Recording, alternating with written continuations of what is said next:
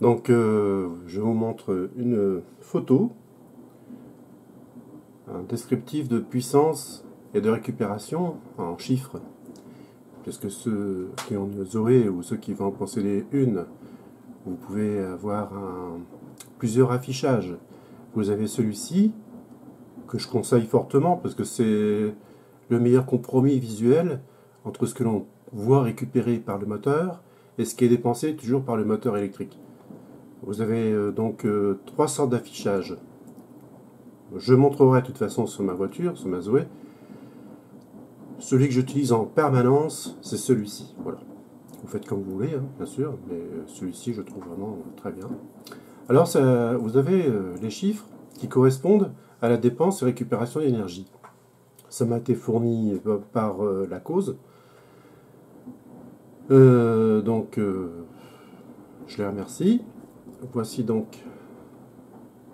en bleu la récupération d'énergie pour les moteurs Continental. Jusqu'à 42 000 watts, 42 kW. Quand vous faites une, grande descente, ou alors vous avez accéléré fort et vous arrivez sur un rond-point par exemple, vous roulez vite, vous, avez, euh, vous freinez un peu, automatiquement ça va augmenter la récupération d'énergie.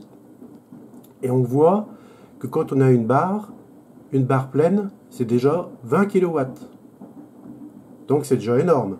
C'est-à-dire que sur les moteurs Renault, c'est au taquet déjà. Mais si on a un moteur Continental, ça va encore descendre. Ça va atteindre quasiment les 42 kW. Alors évidemment, ça recharge plus vite. On récupère un peu plus d'énergie quand même. Et ça, c'est vérifiable hein, au quotidien. Quand on conduit une Zoé, c'est ça. Hein. La conduite économique, euh, de récupération d'énergie. Bah, c'est ça, c'est quand on, anticipe les ralentissements, automatiquement on va voir le bleu qui va s'afficher. L'éco-conduite, c'est quoi? C'est dépenser un minimum d'énergie, être au neutre, par exemple, ça sera plus facile, hein, de toute façon, en, roulant, être au neutre, euh, un faux plat ou autre chose, hein, euh, ça, on le fait ou on le fait pas. De toute façon, on n'a pas toujours les yeux rivés sur, le, sur ce graphique, mais en fin de compte, on y prend vite euh, plaisir à faire ça. Hein. C'est un challenge, c'est comme un jeu. Donc 0 kW de dépenser, 0 kW d'économiser. Mais la batterie, elle, reste toujours au taquet, en quelque sorte. On, roule sans dépenser l'énergie. De toute façon, pour le thermique, c'est le même principe. Sauf que le thermique, lui, va quand même dépenser euh, du carburant même si on n'appuie pas sur l'accélérateur, à moins d'avoir un système qui coupe l'alimentation euh, du carburant quand on relâche l'accélérateur. Ça, c'est autre chose. Bon, bah là, c'est sur l'électrique, donc on continue sur l'électrique. Donc on voit quand même qu'il y a une sacrée euh, puissance de régénération. Alors pour arriver là, euh, à cette zone-là, bon, c'est vrai que c'est pas tous les jours non plus. Hein ça va être sur une courte durée parce que le moteur, lui, va, débiter plein pot. Hein. C'est un générateur électrique carrément. Hein. Vous vous rendez compte, un générateur qui envoie du 48, 43 000 watts, si vous prenez un groupe électrogène qui débite 2000 watts par exemple, il va tourner avec un bruit dingue. Là, vous avez un moteur électrique euh, complètement silencieux et lui, il va débiter 43 000 watts. Euh, c'est impressionnant quand même, hein. la conception. Ensuite, euh, la dépense d'énergie. Donc on voit, ça commence, hein, euh, la zone verte, et vous avez la zone jaune. Quand vous êtes en mode économique, vous avez le bouton, vous appuyez dessus, vous êtes en mode économique, ça s'affiche en dessous là, euh, écho. Vous ne pourrez pas dépasser la zone verte. Voilà. C'est pour préserver la batterie, l'autonomie de la batterie. Si vous décochez, vous enlevez ce mode économique, automatiquement vous pouvez avoir accès à la puissance, l'intégralité de la puissance du moteur électrique et ça se ressent vraiment. On le sent euh, physiquement, hein. c'est vraiment puissant. Et là, vous pouvez atteindre la zone jaune. Pour ma part, je roule toujours en mode économique, rarement en mode normal. Il y en a qui gèrent les deux en étant en mode normal. Pour moi, euh, c'est autre chose, c'est ma façon de conduire qui fait que, et puis pour préserver l'autonomie, mais aussi la pompe à chaleur pour pas qu'elle débite au maximum, au eh bien, je mets en mode économique tout simplement parce que ça réduit la puissance du moteur, mais ça réduit aussi la puissance de la pompe à chaleur, pour ceux qui ne savent pas. Hein, mes vidéos sont toujours pour les débutants. Et ceux qui veulent découvrir l'électrique, vous êtes encore des millions et des millions. Donc voilà. La zone jaune, par exemple, vous êtes sur une rocade. Vous allez dépasser les 96-97 km/h. Donc, euh, zone verte, on ne peut pas. en mode économique, ça va être, limité à 97 km/h. Et quand on retire le mode économique, là, ça va être du 130 euh, réel pour la Zoé. Les voitures électriques en général ne sont pas faites pour rouler à de grandes vitesses, comme les thermiques. Ont quelle importance Et si vous voulez vraiment des véhicules électriques qui roulent vite, bah, faut prendre du Tesla. Hein. Ah oui. Euh, Tesla, l'Audiotron, donc des modèles euh, chers et qui correspondront pas forcément à vos besoins. Hein. si on prend un véhicule électrique euh, d'une catégorie, bah, pour l'instant il n'y a pas vraiment beaucoup de choix. Ça va venir, ça avance pas vite, mais ça avance quand même. La Zoé est polyvalente, malgré tout. C'est pas une petite voiture la Zoé, hein. C'est comme une Clio 5, voilà, avec un coffre plus grand, quand même. Et donc ça la rend habitable à l'intérieur. Il faut voir la place qu'il y a à l'arrière. Il faut vous asseoir dans une Zoé et vous faire conduire, par exemple. Ouais, c'est impressionnant. Hein. Il y a de la place pour les genoux, hein, même pour les grands. Ah, par contre, le pavillon de toit, bah, vous serez limité hein, euh, en hauteur. Oui, parce que les batteries sont en dessous, automatiquement, euh, ça rehausse le plancher de la voiture. Euh, ils vont pas faire un toit à étage. Donc, il faut faire avec. Hein. Enfin, c'est une voiture qui... Pour ceux qui ne la connaissent pas, qui, s'y intéresseraient par curiosité, ne serait-ce que par curiosité, par exemple, il bah, ne faut pas vous, gêner. Hein. Vous allez dans une concession agréée Z2, ils ont une Zoé qui est en, attente de vente ou autre chose, vous demandez un essai.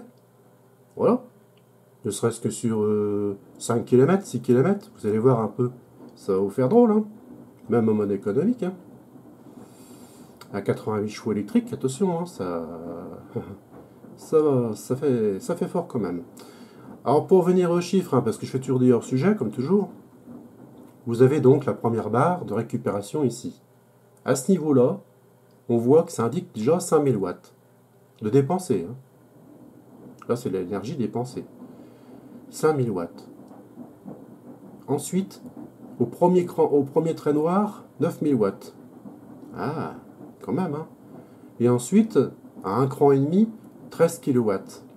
On n'est pas encore à moitié de la zone verte. Et vous remarquerez sur mes vidéos, si vous les regardez attentivement, au niveau du compteur donc de cet écran-là, hein, vous regarderez un peu ma conduite. C'est pas souvent que je dépasse ici, que j'attaque les trois dernières barres de la zone verte. En général, je suis dans une fourchette.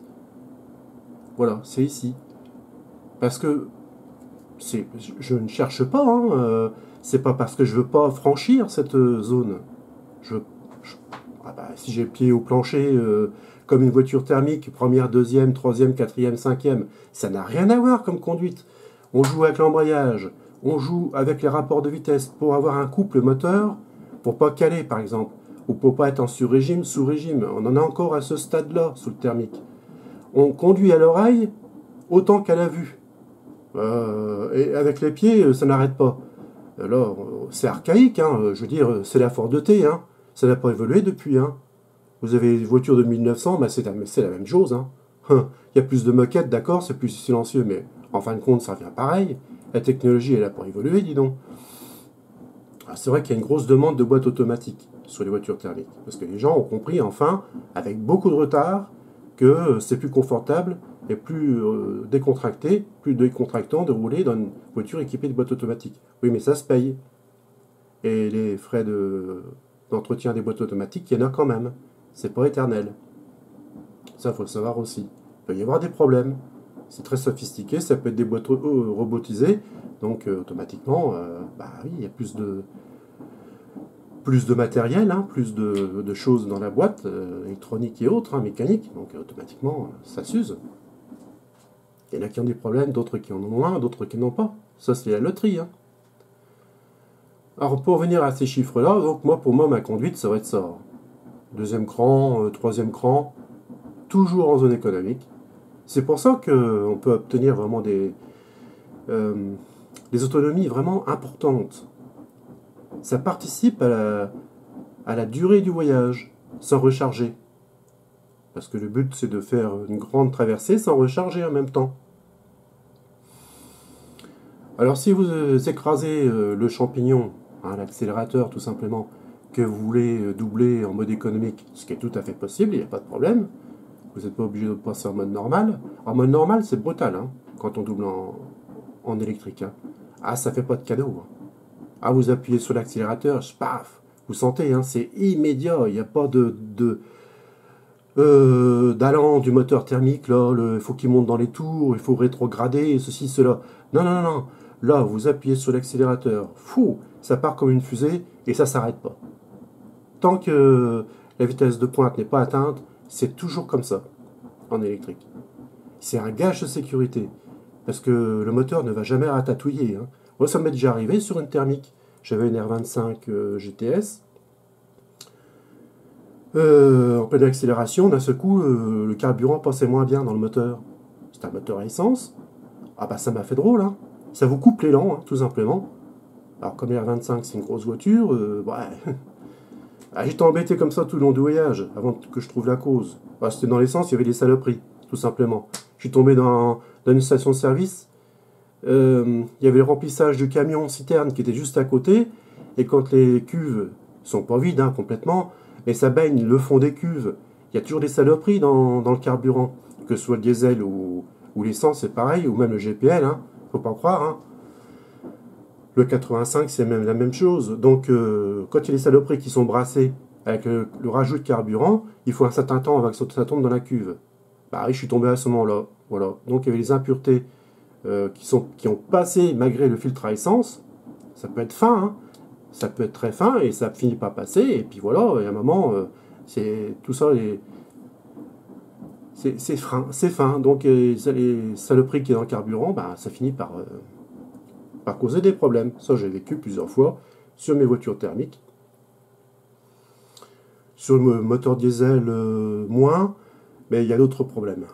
Donc de toute façon, il y aura toujours des problèmes. Hein. C'est pas monde du thermique, euh, hein, j'en viens, hein, donc euh, je sais de quoi je parle.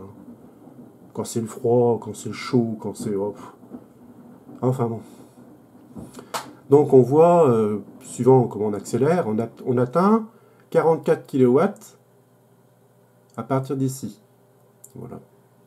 Donc à la fin de la zone verte. Et si on retire le mode économique, qu'on bascule sous la zone jaune, alors zone jaune, quand vous êtes en zone jaune, c'est que vous êtes en pleine accélération, ça dure pas longtemps.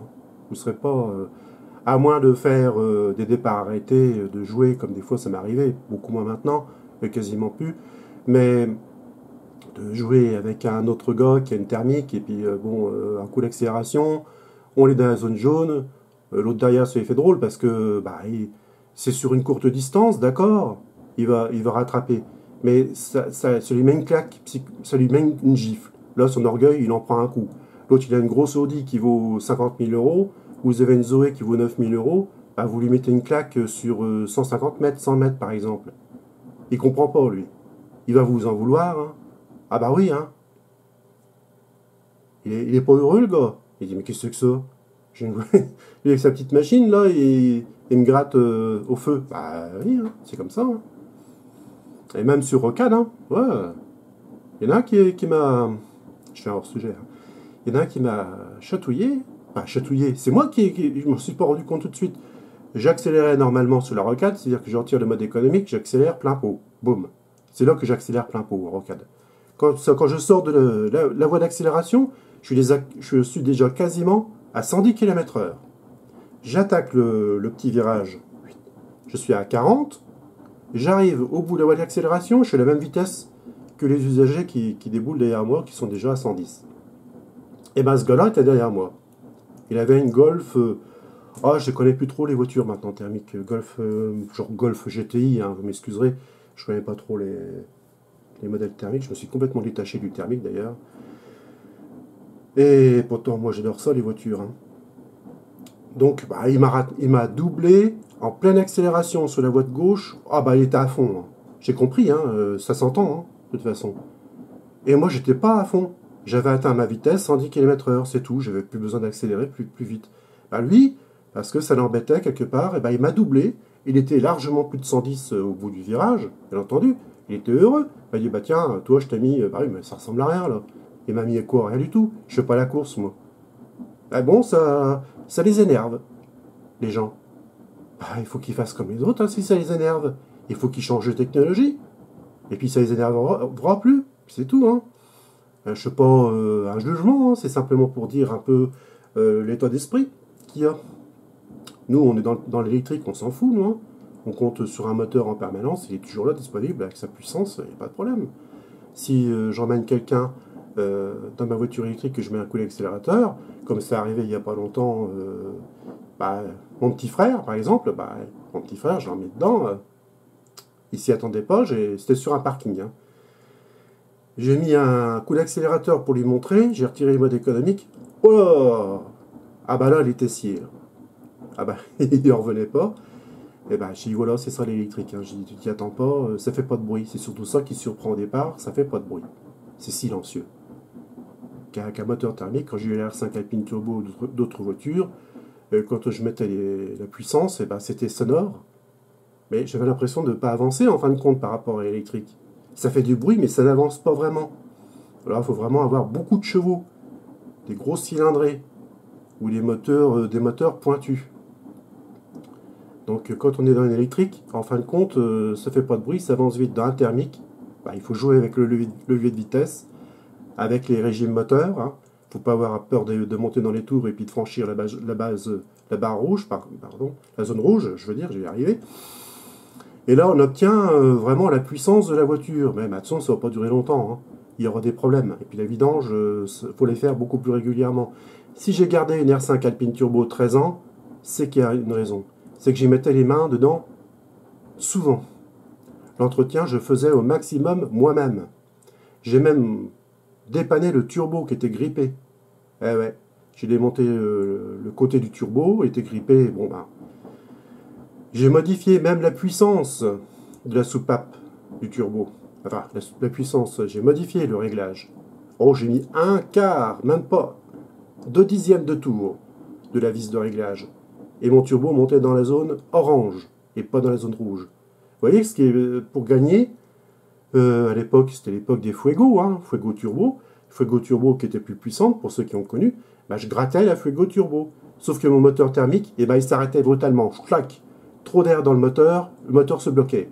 Ah bah j'aurais pu le péter le moteur. Hein. Mais je faisais attention quand même, et il faut croire que les moteurs Renault sont vraiment très, très solides. Bah oui, c'est un moteur euh, Cléon. Hein. Je vous m'excuserez, hein, c'est bon, comme ça, moi mes vidéos. Hein. Et euh, en fin de compte, euh, j'ai fait vérifier la pression du turbo, et la pression du turbo égalait la turbo 2. Voilà. J'avais réglé le turbo sans savoir, j'avais mis la pression d'un turbo, le turbo de moteur Turbo 2, qui à l'époque, pour ceux qui ont connu la R5 Alpine Turbo 2, moteur faisait 160 chevaux. Et eh ben j'avais quasiment 160 chevaux dans un petit moteur qui n'était pas prévu pour ça. Et j'ai rien cassé. Ah bah des pots d'échappement, j'en ai changé. Hein. J'allais à Paris, dans un magasin spécialisé, pour aller chercher un pot d'échappement type. Pot de ville, euh, comment oui, les amortisseurs réglables, les pneus à l'avant, j'avais mis des, à l'époque c'était les 175. À l'avant j'avais mis les 185, à l'arrière c'était resté en 175. Ah bah, c'était comme ça. Bon. Euh, sur cette, sur cette voiture-là, en fin de compte, euh, je me suis fait plaisir, mais à quel coût? À quel prix? Il n'y avait pas grand-chose hein, de disponible. C'est pour ceux qui avaient un petit, des petits moyens financiers, bah, il y avait les, petites R5 Alpine Turbo, et encore celle-là, j'avais acheté la cosse. Elle avait, été retapée euh, par un professionnel, hein. ça avait été fait, refait sérieusement, et ça m'avait permis d'avoir une R5 Alpine Turbo beaucoup moins chère. Voilà, on se débrouille comme on peut. Hein. Avec quelques connaissances euh, mécaniques, bon, bah, j'ai pu euh, la garder 13 ans. Ce qui est exceptionnel avec le turbo d'origine. Et quand on a un moteur turbo, on pense toujours à bien attendre une dizaine de secondes avant de couper le moteur. Parce qu'à l'époque, il n'y avait pas de refroidissement par eau. Hein, C'était simplement un refroidissement euh, par huile, avec une huile euh, très chère. Il hein. faudrait vraiment prendre la G4, la G5, hein, pour ceux qui connaissent, vraiment une huile de qualité, et faire les vidanges très régulièrement. en changeant le filtre à huile à chaque fois. Ah bah oui, c'est un coût tout ça. Et puis il faut être constant dans l'entretien. Dès qu'il y avait un petit bruit, euh, un bruit pas trop catholique, là, un peu bizarroïde, euh, oula, tout de suite, hein, l'oreille tendue, qu'est-ce qui se passe? Bah ça arrivait combien de fois? Bah ça arrivait souvent. Donc euh, voilà. Maintenant que j'ai découvert l'électrique, ça va faire deux ans, enfin ça fait deux ans et demi. J'ai plus l'intention de changer parce que justement je suis débarrassé de ces problèmes. Et je suis beaucoup plus tranquille. Voilà. On est beaucoup plus relax. Donc on voit que la puissance de l'électrique, elle atteint ici 44 kW, pour revenir sur le sujet. Et quand on bascule sur la zone jaune, de toute façon, ça sera la puissance totale délivrée par le moteur électrique et par la batterie. Parce que la batterie, elle fournira une intensité énorme à la demande du moteur. Mais tout ça, c'est quand même contrôlé. C'est pas fait en dépit du bon sens. Vous avez un BMS dans la batterie, donc c'est un ordinateur, qui communique aussi avec l'ordinateur de la voiture et l'ordinateur de, voiture, de la voiture va gérer la puissance délivrée au moteur électrique. C'est contrôlé c'est pas fait en dépit du bon sens. Euh, oula, 21 minutes. Vous m'excuserez, au départ je voulais faire une petite vidéo, mais je fais une vidéo bah, standard, hein, on va dire comme ça. Et prochaine vidéo, eh ben, ça va être euh, dans la journée. Pour l'éco-conduite, la signification euh, du tableau de bord, donc l'affichage, et d'autres choses. Donc tout ça, ça va être fait dans l'après-midi. Je vous remercie et je vous dis à bientôt.